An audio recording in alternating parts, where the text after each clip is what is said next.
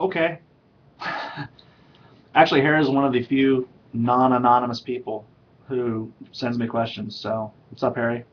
Harry thinks I know a lot about sports, or he's asking me questions about sports so he can make fun of me for my lack of knowledge about sports. I haven't figured out which yet. Uh, either way, you know, it's all good.